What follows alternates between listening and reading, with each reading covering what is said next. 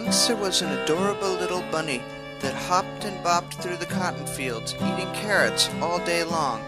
The people loved him and thought he was so fucking cute and sweet and good, and he hated that. He liked to eat the carrots, but that was about it. He had seen this movie Willard about a bunch of rats that eat Ernest Borgnine and a bunch of other people who are mean to Willard. Then they eat Willard because he tried to poison them. The adorable little bunny thought this was so cool. The bunny was tired of being cute and cuddly in the cotton fields. The bunny wanted to go north, to the big city, and play in the garbage, and scare people by slithering around in the subways and on the streets. Bunny Bunny wanted a rat tail, not a bushy cottontail. Bunny Bunny wanted to screech like a rat instead of a bunny, and Bunny wanted to stop hopping. It was undignified and adorable. And Bunny wanted to be more omnivorous. Carrots were okay, but it would be so cool to just eat garbage that people threw away.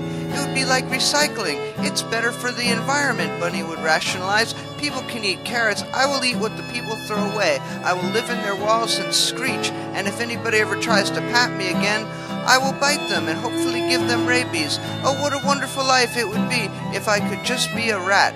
There is one thing that really bothers me about this dream, however, said Bunny Bunny. It's how formulaic and pedestrian this story is. I mean, it's already completely obvious that I'm going to meet some magical wizard, or find some occult book, or some rat dust, or maybe be captured by scientists who are working on some bunny to rat gene splicing experiment, or something like that.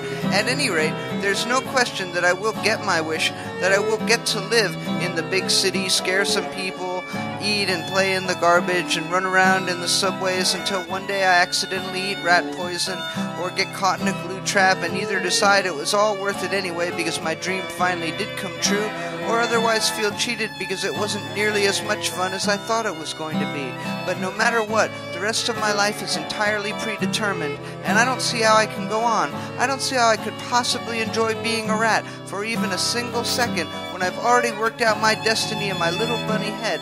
I can't think of a single reason for continuing with this charade another second. I'm getting out now. Fuck this. Find some other bunny stooge to be your rat for the day. I'm hopping the fuck out of here right now. In fact, let me finish the story for you, you pathetic pedestrian hack.